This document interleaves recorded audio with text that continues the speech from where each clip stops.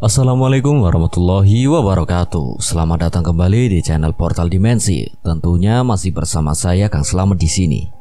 Kali ini Portal Dimensi akan membawakan kisah mistis pendaki Yang berjudul Selamat di Gunung Selamat.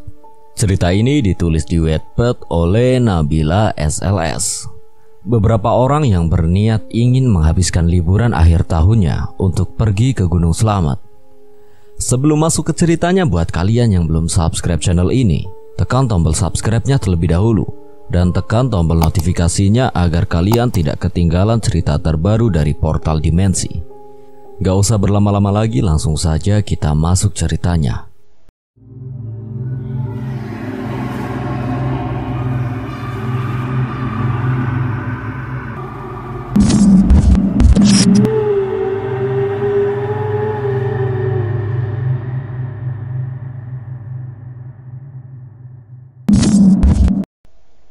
Saya Nina.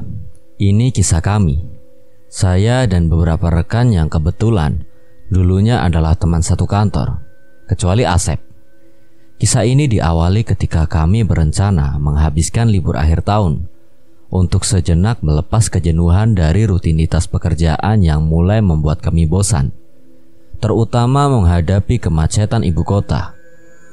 Waktu itu Desember 2015 tibalah hari di mana kami memutuskan untuk mendaki Gunung Slamet, yang merupakan gunung tertinggi di Jawa Tengah.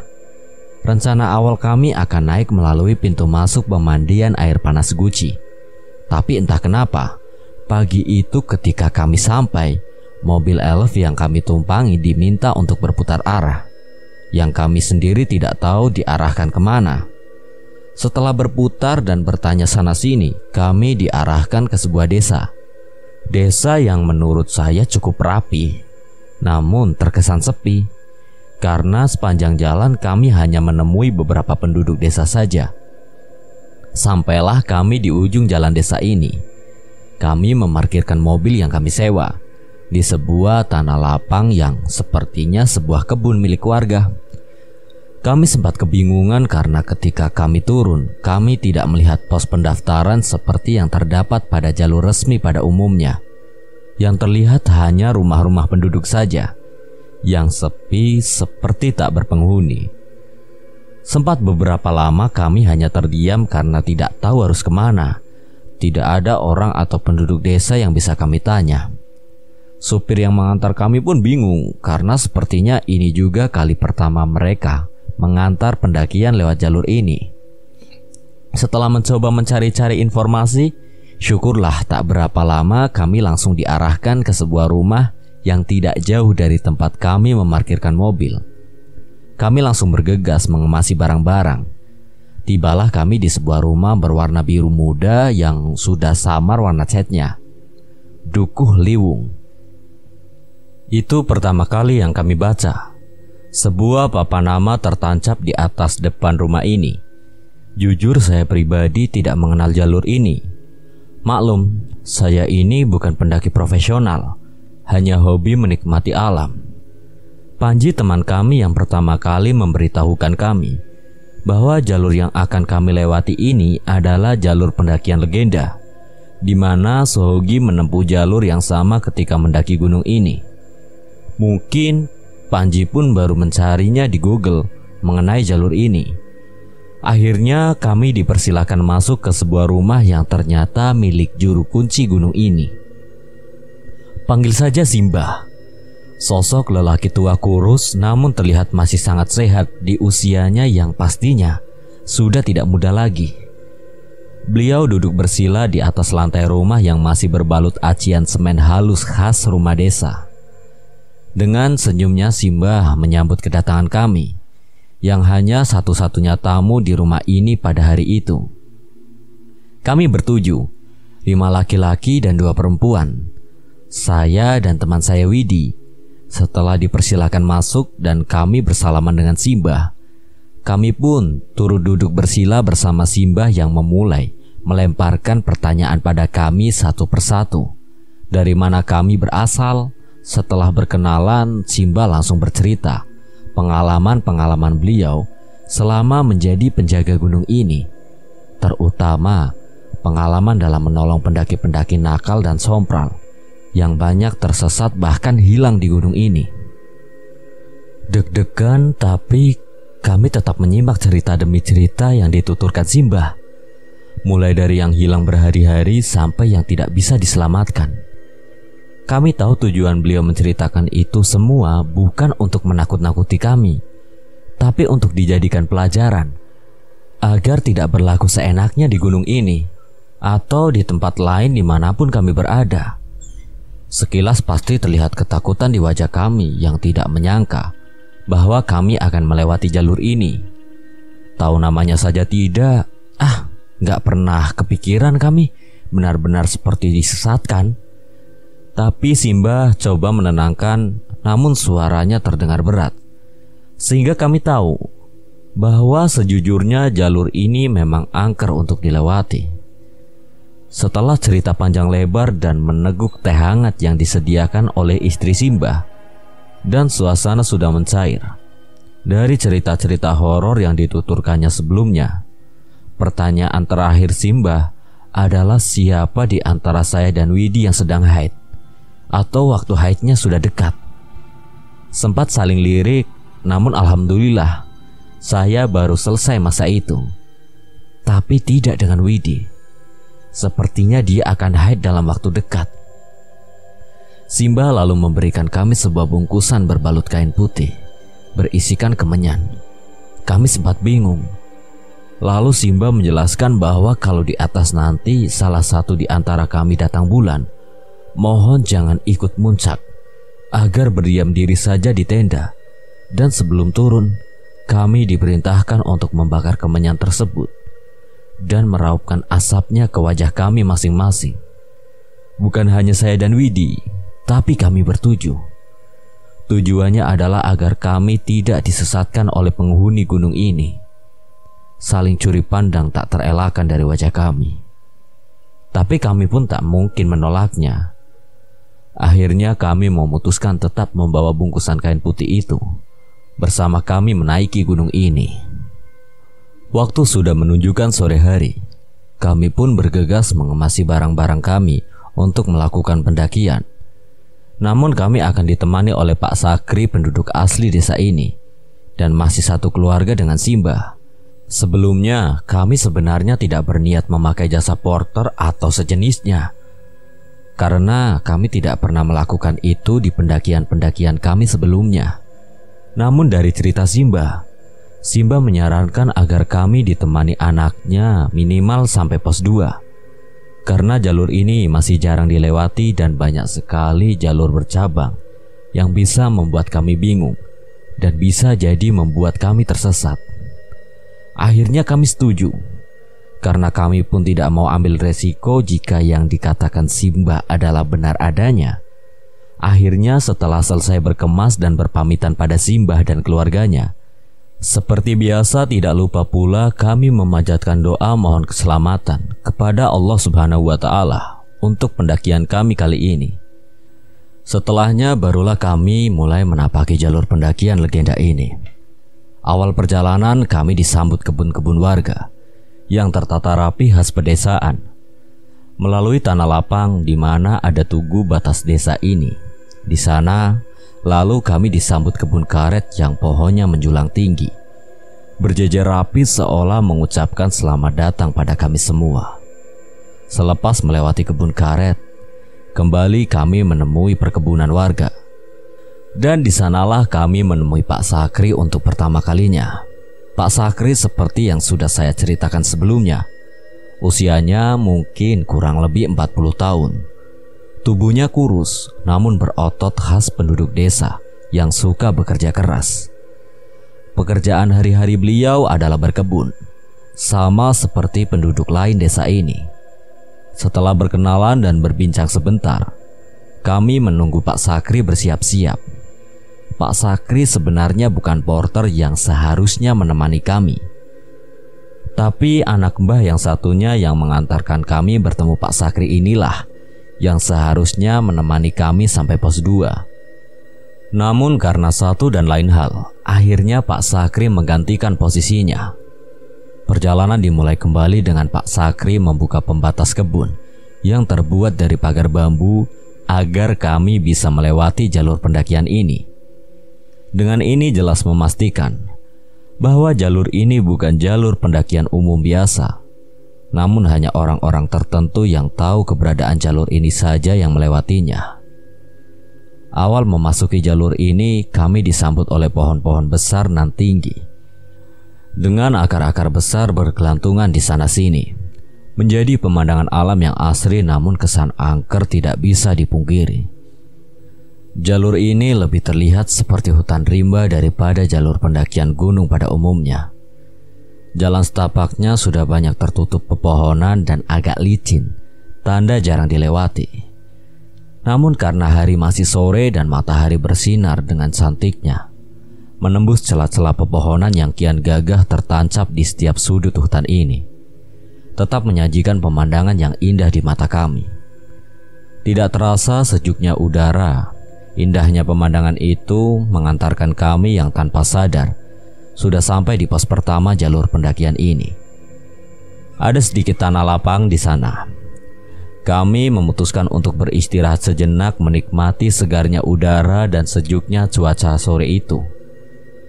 Di sela-sela istirahat, saya dan Widi menggunakan kesempatan itu untuk buang air kecil. Seperti biasa, kami pun mencari celah di balik pepohonan. Dan tidak lupa untuk bilang permisi karena bagaimanapun, kami adalah tamu di tempat ini. Setelah menemukan tempat yang pas, saya dan Widi berjaga bergantian. Saya lebih dulu baru Widi. Teman kami yang lain pun turut melakukan hal yang sama istirahat sejenak sambil mencari celah pohon untuk buang air kecil. Panji salah satunya. Awalnya tidak ada yang aneh dengan kegiatan kami, karena hal ini umum dilakukan para pendaki lain. Namun sungguh kami tidak pernah menyangka Istirahat pertama kami inilah ternyata awal mula yang menyebabkan kejadian-kejadian aneh dan mistis selama pendakian kami dimulai. Selepas membersihkan diri setelah buang air kecil, kami duduk-duduk di batang pohon mati. Di bawah bedeng non permanen yang terbuat dari batang pohon kecil dan plastik putih yang sudah lusuh dan bolong di sana-sini. Buatan pendaki terdahulu sepertinya terlihat ada bekas bakar-bakaran yang menyisakan warna hangus di tanah dengan beberapa sampah kecil yang terlihat sudah sangat lama ditinggalkan di sana. Ketika kami sedang asyik beristirahat seraya meluruskan kaki kami, mengendarkan otot yang tegang. Kami disibukkan dengan banyaknya pacet atau lintah yang menempel pada kaki kami. Tidak cuma di kaki, tapi juga di punggung teman kami. Syukurlah saya tidak kebagian dalam drama ini.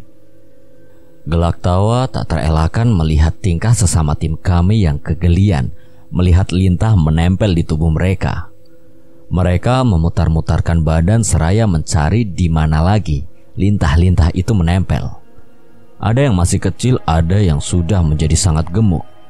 Tanda lintah itu sudah cukup lama berada di sana dan menghisap banyak darah. Ketika ingin melanjutkan perjalanan, sayup-sayup terdengar azan maghrib berkumandang.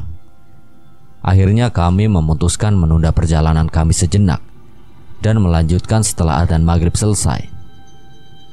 Perjalanan menuju pos 2 pun dimulai masih dengan pemandangan yang sama.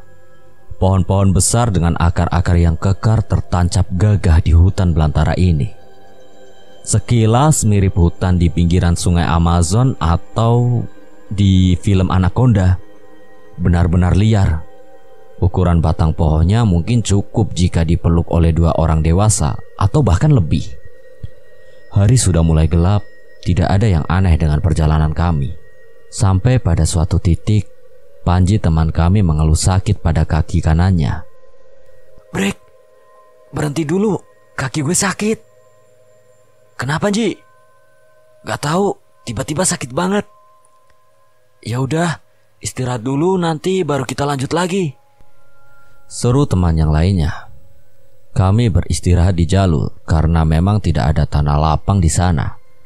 Hanya jalur setapak yang ditumbuhi pepohonan lebat. Sambil berdiri, kami mencoba mengatur nafas masing-masing, berharap sakit kaki Panji cepat reda. Panji berusaha menenangkan kakinya yang seolah tiba-tiba mogok tidak mau berjalan.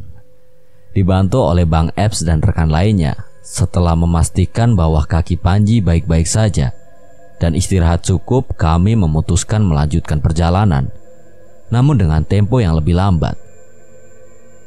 Seiring berjalan, makin lama kaki Panji makin terasa sakit dan berat, hingga akhirnya memaksa kami harus berhenti kembali. Padahal baru beberapa saat berjalan, Kali ini Pak Sakri coba membalurkan krem peregang otot pada kaki Panji yang sebelumnya pun sudah dilakukan teman kami yang lain. Namun seperti tidak ada hasilnya, kaki Panji tetap terasa sakit.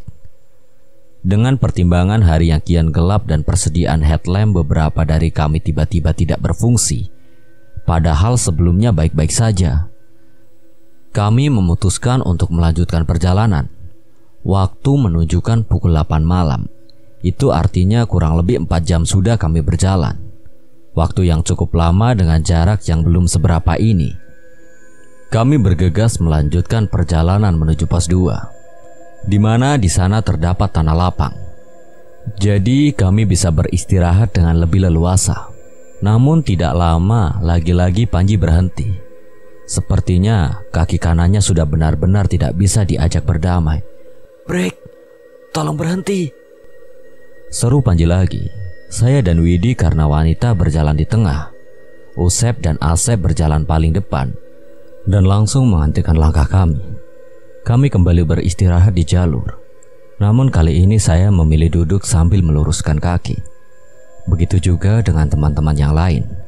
Hanya Panji yang masih berdiri dengan memegangi batang pohon yang digunakan untuk membantunya berjalan. Assalamualaikum warahmatullahi wabarakatuh. Tiba-tiba suara Panji terdengar kami semua terdiam. Nama saya Panji. Saya mohon maaf kalau mungkin ada salah kata dan perbuatan saya. Kalau tadi saya buang air kecil tidak bilang permisi. Saya mohon maaf. Saya tidak ada maksud apa pun. Saya tidak ada maksud mengganggu atau bersikap kurang sopan. Saya mohon maaf. Ujarnya kami terkejut dengan ucapan Panji tersebut yang tiba-tiba saja meminta maaf pada entah siapa. Semua mendengarkan dengan wajah bertanya-tanya. Namun, tidak bisa pula diklarifikasi dalam keadaan sekarang. Akhirnya tak butuh waktu lama setelah mengucapkan kata-kata itu. Kaki Panji tiba-tiba saja pulih. Tidak terasa sakit sedikit pun. Gak tahu kenapa kaki gue sekarang tiba-tiba gak sakit lagi. Gak berat lagi. Jelas Panji saling pandang antara kami dengan wajah penuh tanya, antara lega karena artinya kami bisa melanjutkan perjalanan, namun juga bingung. Apa yang terjadi sebenarnya? Dengan hati yang masih penuh tanya, kami pun melanjutkan perjalanan. Kejadian barusan mengingatkan kami pada cerita-cerita Mbah Kuncen. Ah, sudahlah. Semoga tidak semengerikan itu. Ucap saya dalam hati. Insya Allah tujuan kami baik, tidak ingin merusak apalagi bersikap tidak sopan di gunung ini. Langkah kami sekarang lebih cepat, karena Panji sudah bisa berjalan normal. Sembuhnya kaki Panji tadi mudah-mudahan menjadi akhir rintangan perjalanan ini. Dan dimudahkan untuk perjalanan selanjutnya, sampai kami pulang ke rumah masing-masing dengan sehat dan selamat. Itu doa saya. Namun, pengkabulan doa memang tidak secepat itu. Kejadian demi kejadian aneh yang kami alami selepas perjalanan dari istirahat barusan datang silih berganti. Kini di tengah perjalanan menuju pos berikutnya, kami kembali disambut oleh penunggu lain gunung ini. Hari semakin gelap. Hawa dingin mulai menyeruak masuk ke dalam sela-sela jaket kami.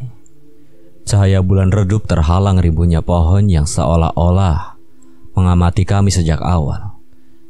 Syukurlah ternyata kami telah sampai di pos 2. Ada sedikit tanah lapang, kami bisa beristirahat lebih leluasa sekarang. Meluruskan kaki dan mengeluarkan cemilan dari dalam tas kami. Namun karena hari sudah semakin gelap, Pak Sakri meminta kami agar tidak berlama-lama di pos ini. Entahlah nada suaranya lebih seperti ingin mengatakan bahwa memang tidak baik berlama-lama di pos ini. Tapi saya tidak menghiraukan itu dan tidak pula ingin bertanya lebih jauh. Karena hari memang sudah sangat gelap dan tubuh ini pun sudah minta istirahat. Jadi yang terbaik memang kami harus bergegas melanjutkan perjalanan agar dapat segera sampai di pos 3 dan bermalam di sana. Perjalanan pun dimulai kembali. Asep dan Usep masih bertahan di posisi depan, diikuti oleh Widi dan saya. Lalu Fahmi, Bang Eps, dan Panji. Jalur yang kami lalui masih sama. Jalan setapak yang hampir tak terlihat karena dipenuhi tumbuhan liar. Terdengar seperti suara burung namun tidak ada yang melintas di atas kami. Suaranya sangat dekat dan jelas. Dengan santai saya bertanya pada Pak Sakri. Burung apa pak? Shh, udah, jangan didengerin. Jangan lihat-lihat ke atas. Jawab Pak Sakri pelan. Mendengar jawaban itu justru malah membuat kami semakin penasaran. Emang apa pak? Tanya teman kami yang lain. Gak apa-apa. Jawab Pak Sakri singkat. Sejenak kami diam. Hawa mistis kini lebih terasa, menyelimuti setiap sudut hutan ini. Kami merasa ada kehadiran makhluk lain di sini, dan kami sadar sejak tadi kami tidak sendiri. Bunyi itu terus terdengar lagi. Kali ini Pak Sakri berpindah posisi dari belakang ke depan. Kini tinggal Bang Eps dan Panji berada paling belakang saling bergantian. Saya pindah ke depan. Ujarnya sambil bergegas jalan ke depan. Bang Eps dan Panji sudah pasti beruji nyali di belakang sana. Kenapa pak? Gak apa-apa. Sudah, lanjut jalan. Jangan berhenti. Biar cepat sampai pos 3. Kita bisa cepat bangun tenda di sana, terus tidur. Sambung Pak Sakri. Tapi karena kami penasaran dan pastinya sangat ingin tahu ada apa sebenarnya, kami sedikit memaksa Pak Sakri untuk memberitahu suara apa itu. Dengan nada suara yang seolah-olah dibuat agar terdengar biasa, Pak Sakri akhirnya memberitahu kami. Itu adalah suara kuntilanak lelaki.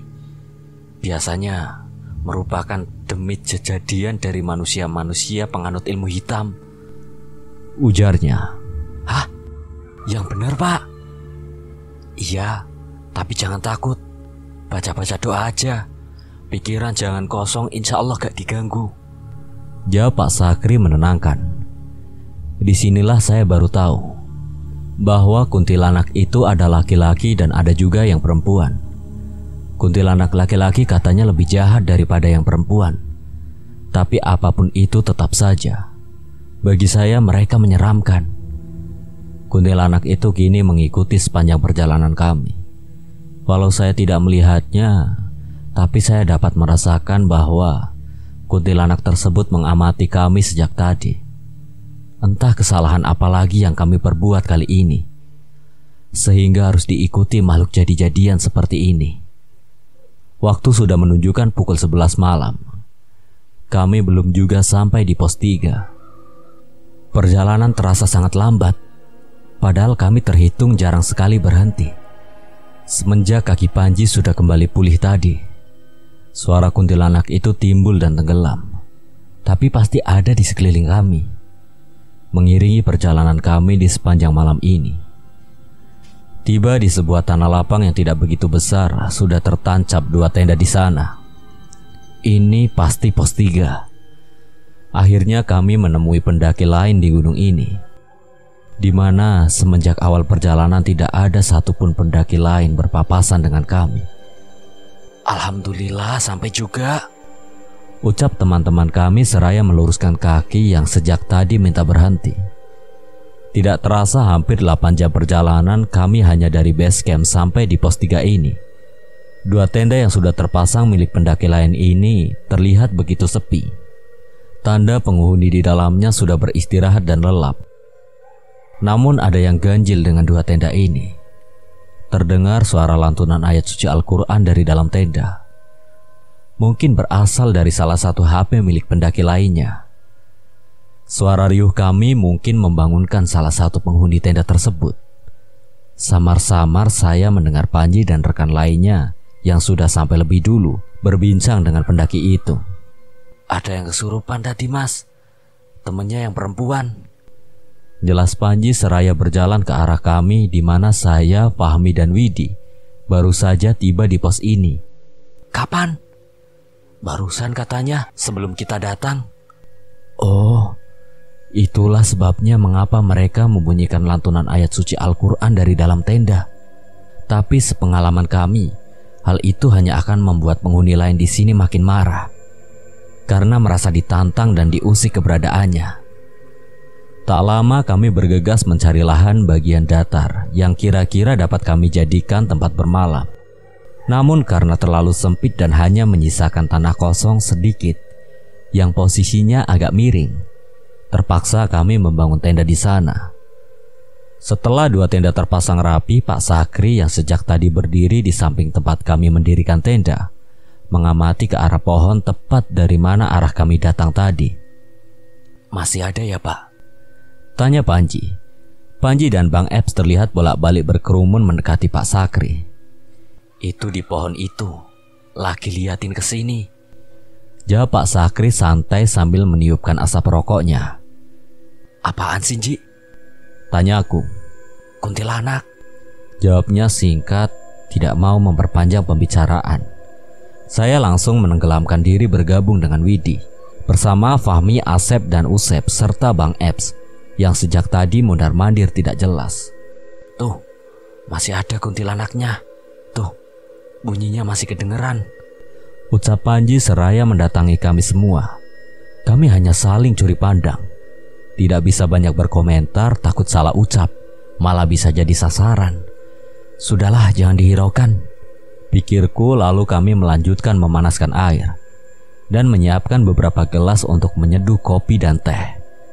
Setelah selesai memanaskan air dan membuat teh dan kopi, untuk sedikit menghangatkan badan kami melakukan sholat isya dan mengkodok sholat maghrib. Setelahnya kami bergegas masuk ke tenda beristirahat karena kami harus melanjutkan perjalanan kembali besok pagi. Ketika saya dan yang lain sudah berada di dalam tenda, Pak Sakri dan Panji sepertinya masih berbincang di luar. Entah apa yang mereka bicarakan. Sepertinya pembahasan mengenai kaki Panji yang terasa sakit tadi. Ternyata menurut Pak Sakri kaki Panji ditumpangi tiga makhluk halus penunggu tempat di mana Panji buang air kecil. Akhirnya kami pun terlelap dalam dingin dan gelapnya malam. Bintang tidak lagi tampak. Tertutup gelapnya malam dan rimbunya pohon hutan ini Malam ini kami semua beristirahat di bawah redupnya cahaya bulan. Di dalam keremangan tenda dengan tetap ditemani sosok jadi-jadian yang sejak tadi seolah enggan pergi meninggalkan kami sendirian di hutan ini. Mereka tetap setia mengamati dari balik pohon, tempat mereka bersembunyi. Emang, lo nggak bilang permisi? Tanyaku pada Panji pagi itu. Kini hari telah berganti Cahaya bulan yang redup semalam sudah berubah menjadi terangnya sinar matahari. Sosok jadi-jadian pun entah ke mana. Mungkin kini mereka telah pergi. Enggak sih nak, tapi gue udah bilang assalamualaikum. Mendengar jawaban itu saya pun bingung harus berkomentar apa. Sejenak saya berpikir, iya apa salahnya? Kan sudah mengucap salam. Tapi mungkin memang tetap dianggap tidak sopan. Ibaratnya kita main ke rumah orang lain, hanya mengucap salam lalu pergi ke kamar mandi tanpa bilang permisi. Pastinya sangat tidak sopan, tapi sudahlah. Semoga hal ini tidak terulang lagi dan bisa jadi pembelajaran kami ke depannya. Setelah sarapan dan memastikan perbekalan air yang cukup, kami mulai berkemas untuk melanjutkan perjalanan. Pendaki lain yang semalam bersama kami sudah lebih dulu melanjutkan pendakian mereka. Oke, siap ya. Berdoa dulu. Semoga disehatkan, diselamatkan perjalanan kita di pendakian kali ini. Kita bisa kembali ke rumah masing-masing dalam keadaan sehat walafiat, tanpa kekurangan satu apa pun. Berdoa dimulai. Ucap Fahmi memimpin doa pagi ini. Amin. Seru kami seraya benar-benar memohon perlindungan Allah Subhanahu wa taala. Kami pun memulai kembali pendakian ini. Kali ini jalurnya sedikit berbeda. Kami tidak lagi melewati hutan belantara dengan pohon-pohon besar menjulang tinggi dan akar-akar yang saling berkait di ujungnya. Jalur yang kami lewati sekarang sedikit menurun, landai namun tidak lama menanjak kembali. Tak ada yang aneh dalam perjalanan kami pagi ini. Cuaca cerah, matahari bersinar dengan indahnya, menembus celah-celah daun yang kini sudah tidak terlalu rapat. Ya, sepertinya kami telah lepas dari hutan rimba. Kini jalur yang kami lewati sudah terlihat normal seperti jalur pendakian pada umumnya. Pendakian dari pos 3 ke pos 4 berjalan lancar. Begitupun sampai pos 5. Sesekali kami menjumpai kelompok pendaki lain. Tidak banyak memang. Tapi sesering seperti pendakian-pendakian kami, Sebelumnya, yang setiap saat pasti saja berpapasan dengan pendaki lain, bahkan bisa juga sampai terjadi kemacetan. Entah kenapa kami baru bertemu dengan mereka selepas dari pos 3 ini. Sedangkan dari base camp sampai pos 3 tidak ada satu pendaki lain yang kami temui. Kecuali di tempat kami bermalam. Singkat cerita ternyata jalur dari pos 3 sampai atas merupakan titik pertemuan dari beberapa jalur lain saya lupa pastinya jalur apa saja itu. Yang pasti para pendaki lain itu berasal dari sana. Pak Sakri yang semula dijadwalkan hanya akan menemani kami sampai pos 2. Tentu saja tidak kami izinkan pulang. Mengingat kejadian-kejadian yang kami alami. Kami sudah pasti membutuhkan beliau untuk menemani kami kembali sampai kami turun dari gunung ini. Tibalah kami di pos bayangan sebuah tanah datar yang tidak terlalu luas. Ada beberapa pohon yang dapat kita gunakan untuk bersandar. Pos bayangan ini adalah pos sebelum kami benar-benar sampai di pos terakhir jalur ini, yaitu pos 5.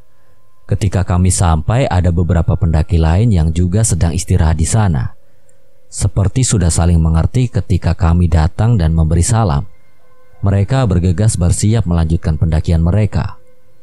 Mungkin mereka paham bahwa tempat ini terlalu sempit jika dihuni kami semua secara bersamaan. Jika dirasa cukup waktu mereka beristirahat, maka mereka akan memberikan kesempatan pada pendaki lain untuk bergantian. Kami langsung mengambil posisi masing-masing.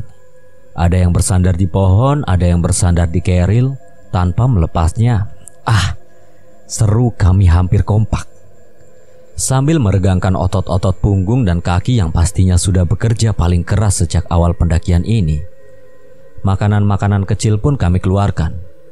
Madu berbentuk stik agar mudah dihisap, dan sedikit coklat dan roti untuk menggajal perut kami yang mulai keroncongan.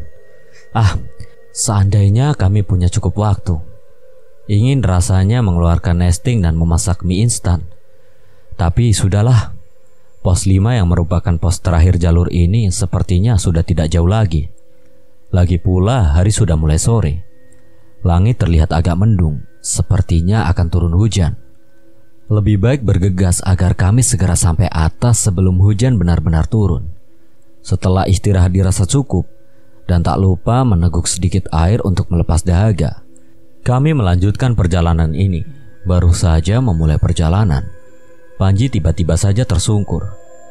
Tapi kali ini bukan karena makhluk gaib atau sejenisnya. Sepertinya Panji memang kelelahan. Hayati lelah bang. Ucapnya seraya bangkit dari jatuhnya. Gelak tawa pecah seketika. Bukan karena kami tak simpati, tapi memang jatuhnya lucu sekali. Fahmi dan Bang Eps membantunya berdiri karena bobot tubuh Panji yang besar membuat mereka harus mengeluarkan tenaga ekstra untuk menariknya. Akhirnya sekitar pukul 3 sore kami sampai di pos terakhir. Kami akan bermalam di sini untuk selanjutnya menaiki puncak esok pagi. Sudah ada dua tenda di sana. Tenda pendaki lain yang pastinya sudah lebih dahulu sampai di tempat ini. Tidak pakai istirahat, kami langsung berbagi tugas. Ada yang mendirikan tenda, ada yang menyiapkan bahan makanan untuk kami makan sore ini. Setelah tenda terpasang, nesting dikeluarkan. Bahan makanan disiapkan, kami pun mulai memasak. Sayur sop yang sudah dibersihkan dari rumah dibungkus rapi dengan plastik pembungkus, sehingga masih sangat segar ketika dimasak untuk kami makan. Telur balado, ikan asin, dan bakwan menjadi hidangan kami sore ini. Hmm, lezat. Apalagi dinikmati di ketinggian setelah aktivitas yang sangat menguras tenaga. Kalau ada yang tanya kenapa tidak makan mie instan, tentu saja ada, tapi itu pilihan terakhir jika kami kehabisan bahan makanan dan hanya memiliki sedikit waktu untuk memasak. Kadang kami berprinsip, pemenuhan gizi saat pendakian itu jauh lebih penting. Walaupun makan mie instan hangat di ketinggian yang dingin ini tentu saja sangat nikmat. Saya, Widi, dan Bang Eps kebagian memasak sore ini. Yang lain menggunakan waktu istirahatnya sambil menikmati indahnya pemandangan dari atas ini. Fahmi dan Usep berfoto-foto di gua yang berada tidak jauh dari tenda kami.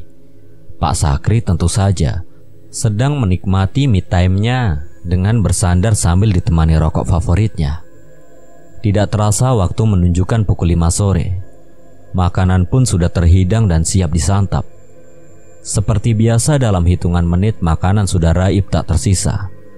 Tangan-tangan lapar bagai anak konda bergerak cepat siap memangsa musuhnya langsung masuk ke dalam perut mereka. Alhamdulillah kenyang. Kata yang pastinya terucap dari mulut kami semua. Momen makan bersama ini merupakan salah satu saat yang paling nikmat ketika kita melakukan pendakian. Sesi makan pun usai. Kini waktunya kami bersiap untuk melaksanakan sholat maghrib. Cuaca yang semula mendung kini tampak kembali normal. Langit mulai memerah matahari hampir kembali ke duanya. Sambil menunggu waktu maghrib tiba, Fahmi menunjukkan hasil foto-foto yang diambilnya bersama Usep tadi. Tidak ada yang tampak aneh di awal, sampai satu foto yang sedikit mencuri perhatian kami. Dalam foto terlihat seperti wanita berambut panjang, namun samar-samar dan wajahnya pun tidak kelihatan. Padahal foto itu diambil Fahmi di dalam goa yang tentu saja tidak ada siapa-siapa di sana. Tidak mau memperpanjang situasi mengingat kami masih berada di gunung ini. Akhirnya kami memutuskan untuk mengabaikan foto itu. Waktu maghrib pun tiba. Kami masuk ke tenda bersiap-siap menunaikan sholat. Usai menunaikan sholat maghrib sambil menunggu waktu isya, kami membuat kopi dan teh untuk menghangatkan tubuh kami dari dinginnya malam yang mulai menusuk-nusuk sampai ke tulang. Setelah menunaikan sholat isya dan membersihkan diri dari sisa-sisa keringat hari ini, kami mencoba menikmati indahnya malam ini. Langit mulai gelap, bintang mulai menampakkan kecantikannya. Namun keindahan itu tidak bisa lama kami nikmati. Angin dingin yang menembus jaket tebal kami memaksa kami untuk segera mencari kehangatan di dalam tenda. Widi tiba-tiba saja berbisik. Mbok, kayaknya Gue dapet dah. Hah? Serius? Coba cek. Jawabku kami bergegas ke dalam tenda. Bener mbok. Dek. Hati ini mencolok seketika. Melihat wajah Widi hatinya pasti kacau. Karena artinya ia tidak dapat ikut mendaki puncak besok pagi. Padahal ia sudah sejauh ini. Ya udah, nggak apa-apa. Bawa pembalut kan? Tanyaku. Widi mengangguk lesu terlihat kecewa dan panik terpancar dari wajahnya. Perbincangan kami sepertinya terdengar sampai tenda sebelah terdengar riuh mereka berkata, Hah? Widi dapat? Terus bagaimana? Entahlah. Selain Widi tidak bisa ikut mendaki puncak, bagaimana yang mereka maksud pasti tentang bungkusan putih berisi kemenyan yang diberikan Simba sesaat sebelum kami mendaki gunung ini. Dengan Widi mendapatkan haid hari pertamanya di atas sini, itu artinya kami harus melakukan ritual bakar kemenyan yang diperintahkan Simba sebelum kami kembali turun ke bawah. Namun tentu saja hati kami tidak semudah itu menerimanya. Karena kami semua tahu perbuatan itu bertentangan dengan tauhid.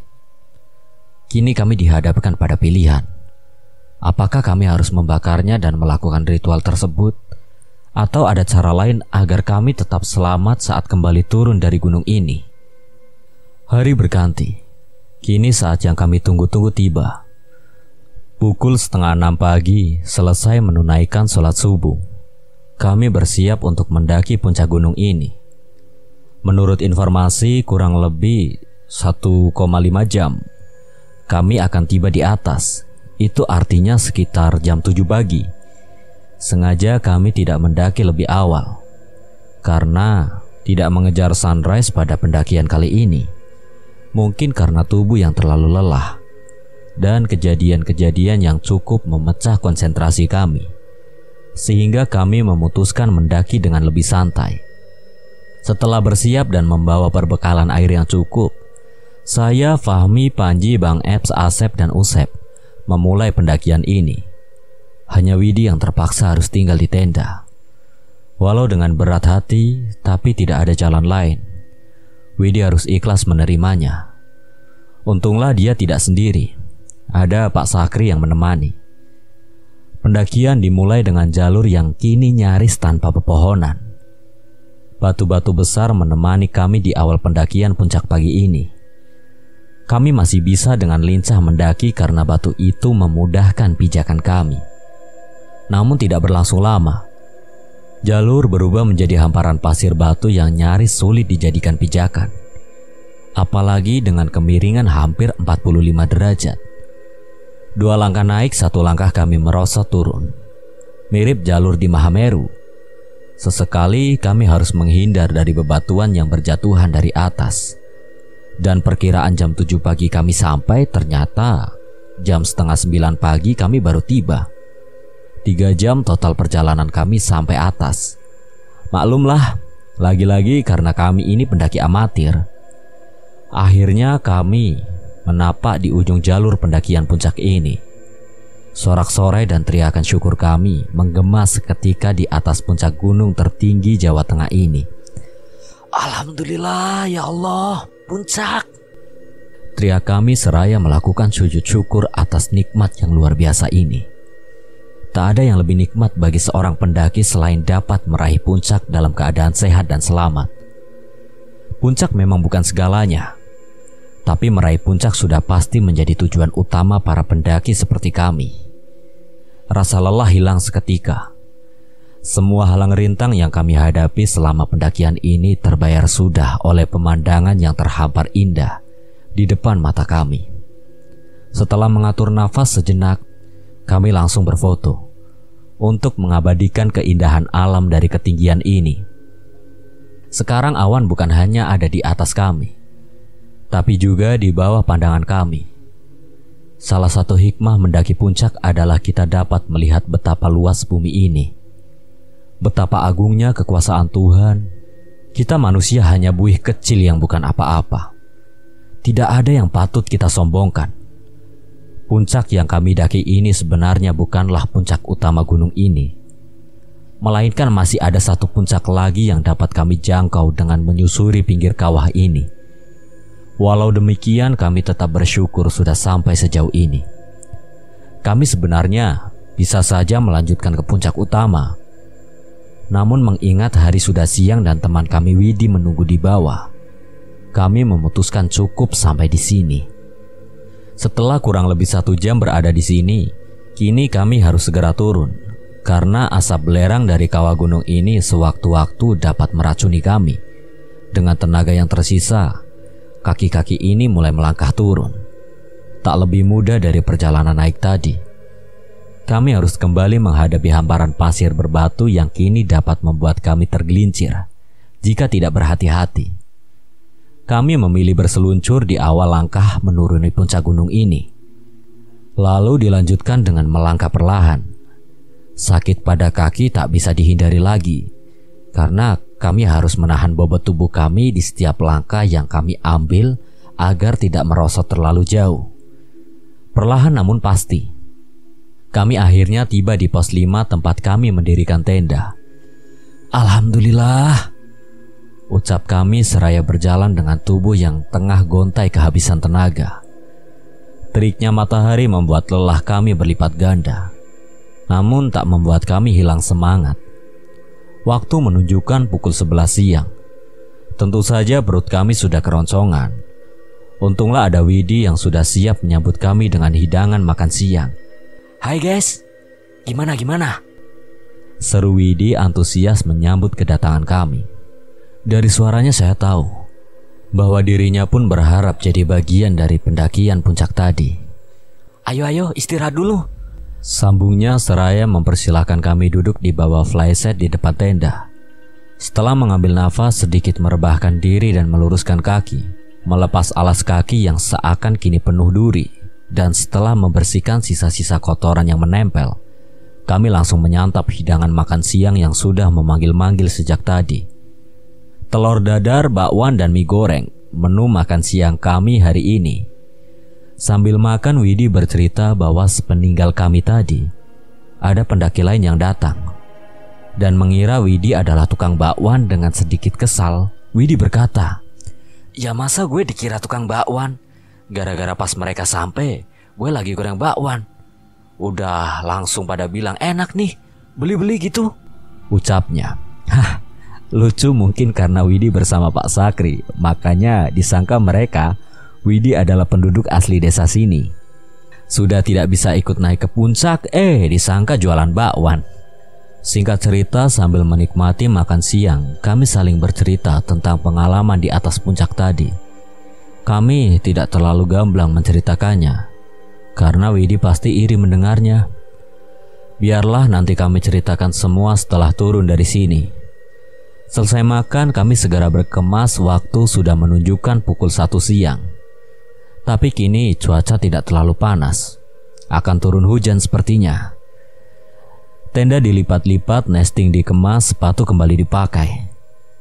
Semua telah siap. Kini saatnya kami turun dari gunung ini menapaki jalur yang sama yang kami lalui ketika awal pendakian ini. Namun sebelum turun, kami kembali teringat tentang kemenyan itu.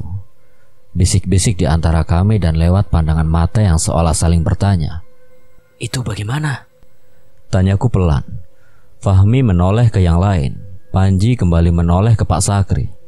Syukurlah Pak Sakri seolah mengerti gelagat kami bahwa kami berat melakukannya. Ya udah, Kalian sholat kan? Di rumah sholat juga kan? Tanyanya. Iya pak, sholat dong pak. Insya Allah. Jawab kami bangga. Ya udah sini, saya pegang saja kemenyannya. Gak usah dibakar. Berdoa saja mohon perlindungan Allah. Supaya sehat selamat sampai di rumah. Amin. Ah, lega rasanya mendengar perkataan Pak Sakri tersebut. Akhirnya kami tidak perlu melakukan ritual yang bertentangan dengan ajaran agama kami itu. Kini kemenyan itu sudah berpindah tangan dari tangan kami ke tangan Pak Sakri. Akhirnya di bawah redupnya sinar matahari kami memulai perjalanan turun. Kami berjalan satu persatu. Usep Asep kembali di depan. Disambung Widi, saya, Fahmi, Bang F, Spanji, dan Pak Sakri sebagai sweeper Awal perjalanan dari pos 5 ternyata tidak berjalan lancar. Kaki saya sedikit cedera akibat turun dari puncak tadi. Sepatu jebol mengakibatkan hampir keseluruhan jari kaki saya berdenyut hebat. Sakit sekali rasanya ketika dipakai berjalan dan bersentuhan dengan ujung sepatu. Untunglah saya bersama suami di pendakian ini. Fahmi harus rela bersabar menunggu saya yang berjalan amat pelan. Sedangkan yang lain sudah lebih dulu menunggu di depan. Gak apa-apa, jalan duluan aja. Seru kami. Saya masih berusaha berjalan sambil menahan sakit. Namun karena ujung-ujung jari ini sepertinya bengkak, maka akhirnya saya memutuskan untuk melepas sepatu dan menggantinya dengan sandal. Usai memakai sandal dengan tetap mengenakan kaos kaki, kini saya bisa kembali berjalan dengan lancar. Kini posisi saya di depan, paling depan diikuti oleh Widi, Usep Asep, Panji, dan Bang Eps, Fahmi, dan Pak Sakri. Setelah berlari, saya menuruni jalur ini dengan cepat. Bahkan cukup cepat untuk membuat mereka yang di belakang berlari sampai ngos-ngosan. Stop, jangan cepet-cepet nak, ngacir baik. Seru Panji. Tahu nih, mentang-mentang kaki udah gagak sakit. Sambung Bang Eps, baiklah saya menghentikan langkah. Tapi dengan saya ngebut tadi itu membuat kami tidak terasa sudah sampai di pos 3. Waktu masih sore. Langit belum gelap, kami sepertinya bisa sampai base camp sebelum jam 8 malam. Setelah istirahat sejenak, kami melanjutkan perjalanan kembali. Kini perjalanan dari pos 3 menuju pos 2. Itu artinya kami telah kembali memasuki hutan belantara. Pohon-pohon besar itu kini seolah menyambut kedatangan kami kembali. Jalur yang semula normal kini mulai dipenuhi semak belukar. Langit mulai tertutup rimbunya pepohonan. Waktu menunjukkan pukul 4 sore namun lebih gelap dari biasanya. Kami harus bergegas agar bisa sampai bawah sebelum larut malam. Hari mulai gelap, cahaya matahari kini berganti dengan keremangan cahaya dari headlamp yang kami pakai. Entah sekarang jam berapa. Sepertinya hampir jam 7 malam. Kami belum juga sampai di pos 2. Jalur terasa sangat panjang. Sejak langit mulai gelap, kami berjalan hampir tanpa mengeluarkan sepatah kata pun kecuali kata break dan lanjut. Malam cukup hening, kegelapan kian pekat karena cahaya bulan tertutup ribunya pepohonan. Namun keheningan malam itu tiba-tiba saja terpecahkan oleh suara Pak Sakri. Pergi sana, jangan ikut-ikut. Serunya mendengar itu saya hanya saling pandang dan berbisik kecil dengan Widi dan Fahmi yang kebetulan berada di depan dan belakang saya. Ada apa? Bisiku, Widi dan Fahmi hanya menggeleng. Pergi, saya gak takut. Jangan ganggu-ganggu. Ucap Pak Sakri lagi.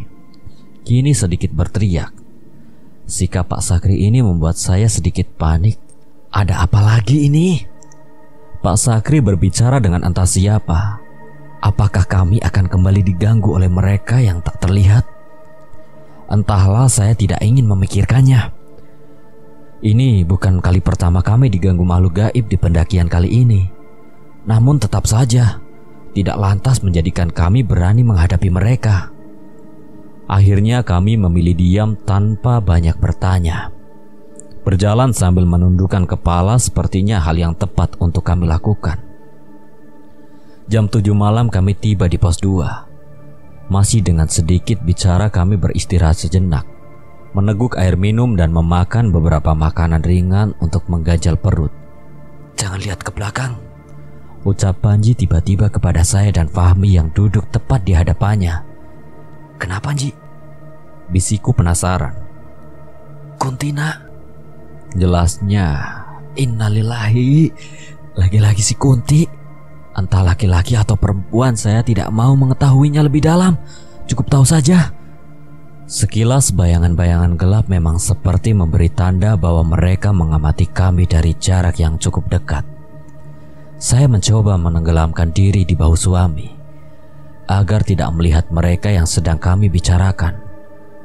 Hutan ini benar-benar tidak menyajikan pemandangan lain selain suasana mistis dan kegelapan. Kini malam kian terasa mencekam dengan kembali terjadinya kejadian-kejadian aneh barusan. Pak Sakri yang berbicara sendiri dan munculnya kuntilanak di pos 2 ini. Kini kami sadar perjalanan kami ke depan sudah pasti tidak sendiri lagi. Ada mereka yang tidak terlihat akan mengawasi dan menemani kami di sepanjang perjalanan turun malam ini. Entah makhluk apa lagi yang akan kami hadapi di depan. Kami hanya mampu berdoa dalam hati agar Allah menjaga kami dari kemisteriusan malam ini. Kuntilanak itu sepertinya terus mengamati kami. Namun seperti tidak ingin ambil pusing, kami tidak menghiraukannya. Biarlah selama makhluk itu diam saja. Kami sepertinya tidak perlu khawatir. Kurang dari 10 menit kami berada di pos ini. Pak Sakri meminta kami bergegas karena perjalanan masih jauh. Kembali menapaki jalur masih dengan posisi yang sama. Asep, Usep, Widi, saya, Fahmi, Bang Eps, dan Panji serta Pak Sakri berada di posisi paling belakang. Tak berapa lama Pak Sakri lagi-lagi berbicara sendiri. Kali ini saya melihat kepanikan di wajahnya. Sana, tuh, ambil tuh. Saya gak butuh. Ucap Pak Sakri seraya melemparkan sesuatu. Kini saya tidak ingin banyak bertanya.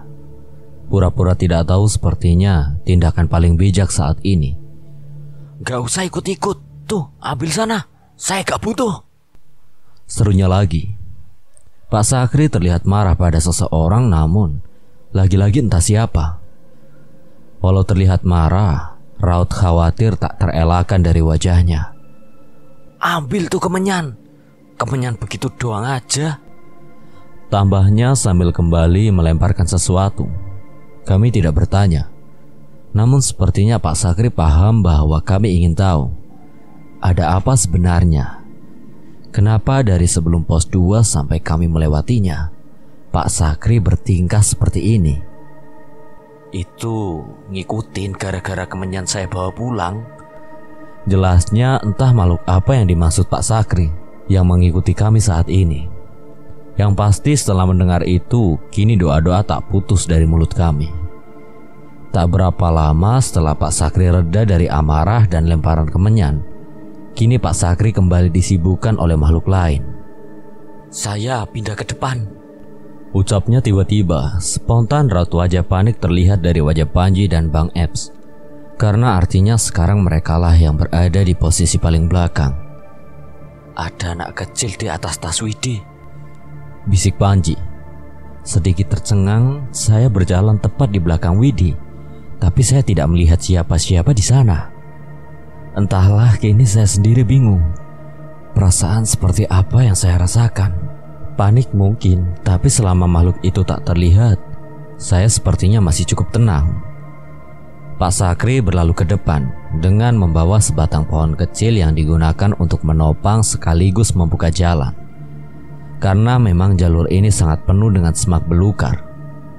Perpindahan posisi Pak Sakri bertujuan untuk menjaga agar sesuatu hal tidak terjadi pada Widi yang kini sedang dalam keadaan haid yang memang sangat disukai oleh para makhluk gaib.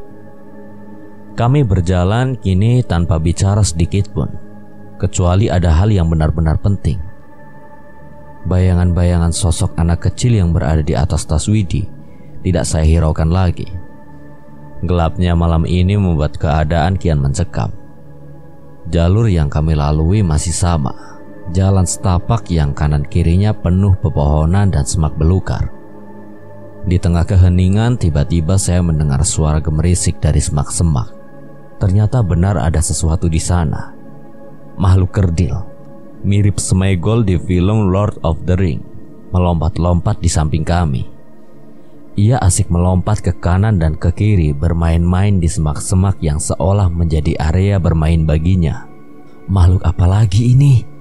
Gumamku dalam hati kini mataku tak sanggup lagi melihat ke depan. Hanya menunduk dan melihat langkah kaki ini saja yang bisa saya lakukan.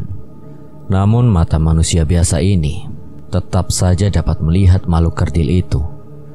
Sesekali makhluk itu berhenti tepat di pinggir jalur yang pastinya akan kami lewati. Mata ini terpejam ketika sosok kerdil itu terlihat mematung menunggu kedatangan kami. Doa tak putus dari mulut ini seraya memohon keselamatan dan perlindungan dari Allah Subhanahu wa taala. Pikiran saya berkecamuk bagaimana kalau makhluk kerdil itu tiba-tiba saja melompat kepada kami atau menarik lengan ini ketika melintas di hadapannya. Jarak saya dengan makhluk kerdil tersebut tidak lebih dari satu jengkal. Saya melewatinya. Syukurlah tidak terjadi apa-apa. Makhluk itu tetap terdiam di sana dan kembali melompat di semak-semak. Seperti tidak mau pergi, makhluk kerdil itu terus membuntuti kami. Hingga pada suatu titik kami berhenti. Sebuah suara mengagetkan kami terdengar sangat jelas dekat sekali seperti ada di hadapan kami. Kami menengadah mencari sumber suara itu, namun hanya kekosongan yang kami dapat. Suara apa itu? Usep mendengarnya seperti suara domba, namun terdengar juga seperti suara ringkik kuda sedangkan saya sendiri mengira itu tawa kuntilanak. Sejenak kami saling pandang. Kami tahu kami memiliki pertanyaan yang sama. Makhluk apa lagi yang kami hadapi sekarang? Manusia kerdil yang tadi mengikuti kami sudah tidak ada lagi. Kini kami dihadapkan oleh makhluk gaib yang lain. Tak sadar kami terpaku cukup lama. Usep menyadarkan kami dengan teriakannya memberitahu di depan kami adalah pos satu. Guys, di depan pos satu. Mendengar itu kami bergegas sambil tetap membawa sekelumit pertanyaan dalam hati tentang apa yang terjadi di sini. Namun tahan, kami masih di sini. Tunggu sampai kami menjauh dari tempat ini. Tanah lapang yang tidak begitu luas terhampar samar di hadapan kami. Lagi-lagi karena gelapnya malam semua tak terlihat dengan jelas. Duduk dan menunduk sambil sedikit mengatur napas. Kami beristirahat dengan sedikit rasa was-was. Syukurlah ini sudah pos satu. Itu artinya tidak lama lagi kami akan sampai. Kita lewat jalur lain aja. Jangan lewat jalur yang pas naik. Bahaya kalau udah malam gini. Takut licin habis hujan. Ucap Pak Sakri. Memang ketika naik kemarin kami menyeberangi sebuah sungai kecil penuh bebatuan berlumut. Jelas menandakan jarang sekali ada orang yang melintas. Kami yang tidak tahu apa-apa langsung mengiyakan yang penting kami selamat. Perjalanan dilanjutkan jalur yang kami lewati kini memiliki pepohonan yang lebih kecil, namun tetap menjulang tinggi. Jalanannya cukup besar tidak setapak lagi seperti jalur-jalur sebelumnya. Letak pepohonannya tidak begitu rapat. Cukup berjarak antara satu dan lainnya. Waktu menunjukkan pukul 8 malam, masih cukup sore sebenarnya. Namun tidak berlaku di tempat seperti ini. Tetap sepi dan mencekam. Sedikit rasa lega terasa di hati kami ketika kami mendengar suara musik di kejauhan. Samar-samar namun pasti kami semua mendengarnya. Lah, ada suara dangdutan. Berarti kita udah di bawah ya? Udah deket ke desa kali? Apa ada yang hajatan? Tanyaku. Entah apa yang ada di pikiran saya sampai bisa menyimpulkan seperti itu. Yang lain pun seperti mengaminkannya. Iya, di bawah udah desa kali ya? Makanya kedengeran sampai sini. Jawab yang lain. Berarti sebentar lagi kita sampai dong. Alhamdulillah.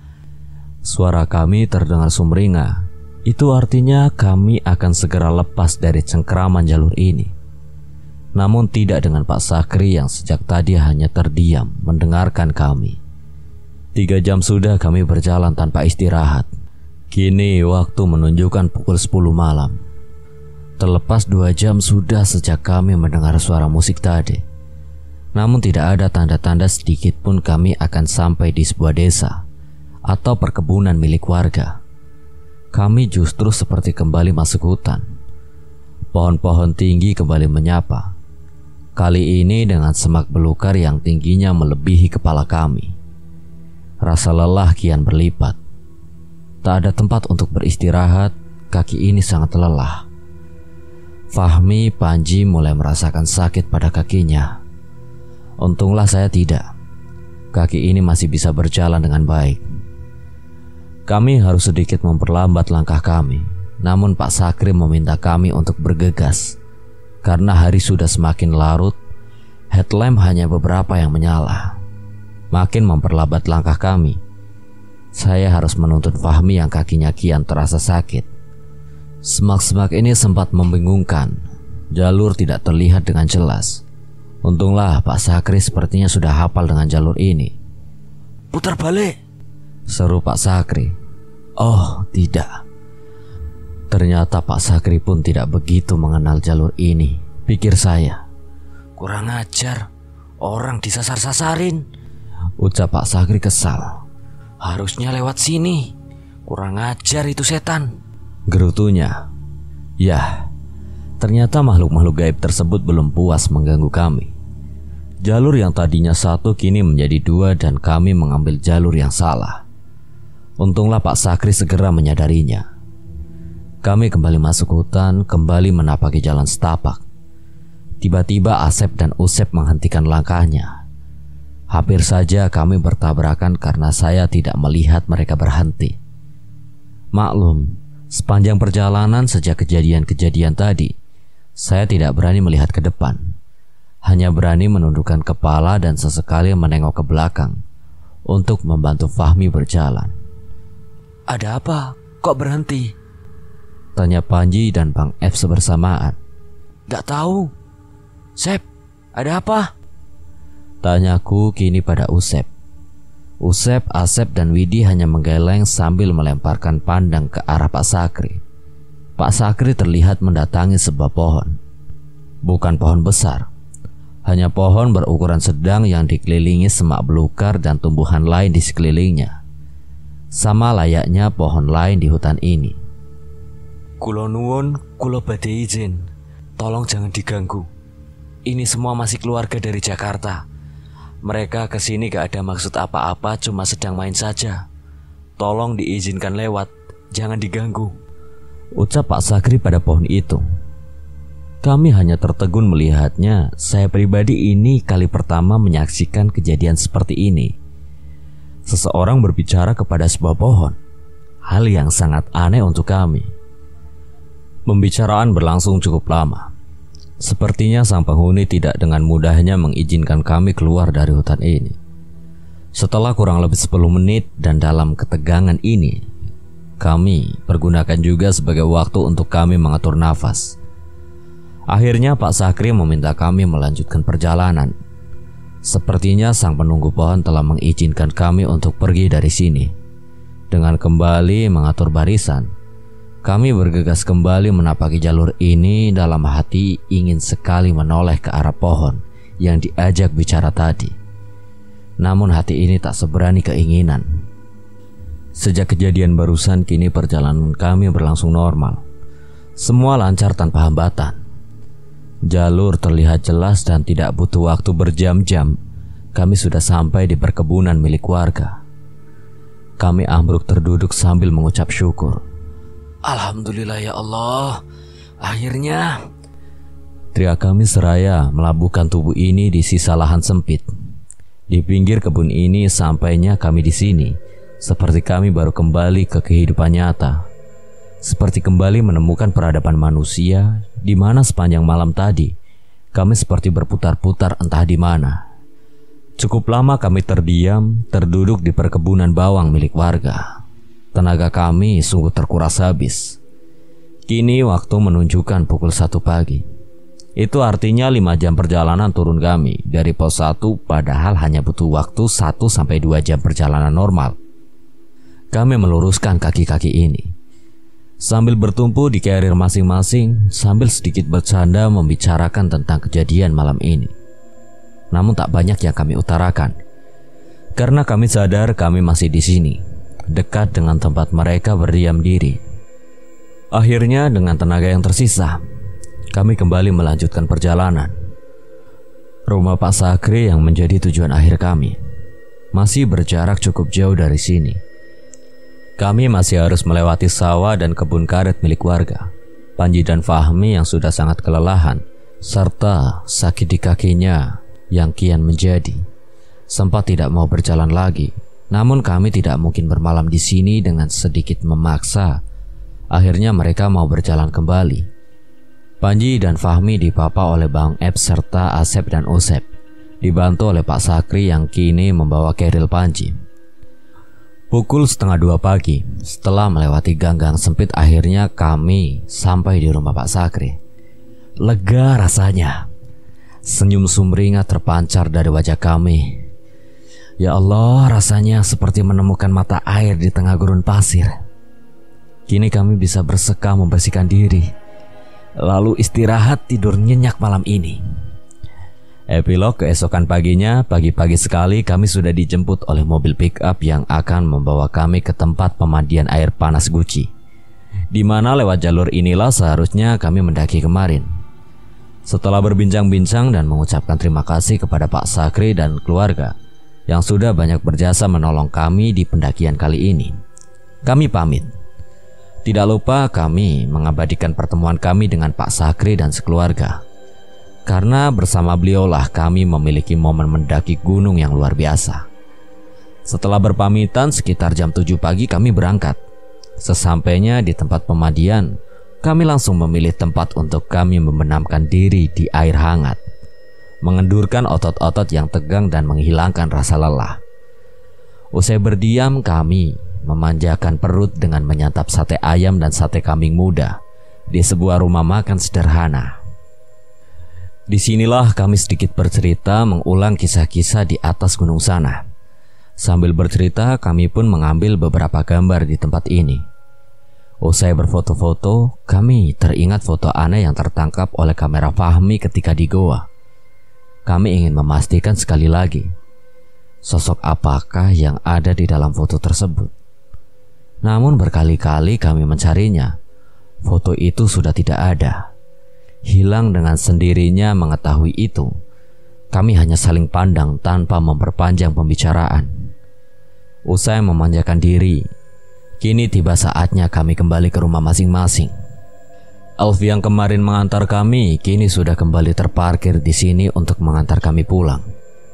Di sepanjang perjalanan, ketika kami rasa sudah cukup jauh dari kaki Gunung Slamet, kami baru berani bercerita tentang apa yang dialami oleh diri kami masing-masing secara gamblang. Bahwa sebenarnya Panji melihat ada tiga orang anak kecil bertengger di atas tas ransel Widi. Karena Widi membawa pembalut bekas pakainya. Selain itu ternyata hanya saya, Widi, dan Fahmi yang melihat makhluk kerdil itu melompat-lompat di semak-semak dan berdiri di pinggir jalur. Bang Eps hanya mendengar suaranya saja tanpa bisa melihatnya. Ketika di rumah makan, Usep, Asep, Widi, dan Panji, telinganya terasa panas ketika membicarakan sosok anak kecil di tas Widi, sambil melihat-lihat foto yang hilang di kamera. Suara musik yang kami dengar di atas bukannya suara musik dari rumah warga, namun merupakan gending gamelan yang jika saya baca itu merupakan tanda bahaya bahwa kami bisa saja masuk ke alam lain. Namun lagi-lagi alhamdulillah kami selamat.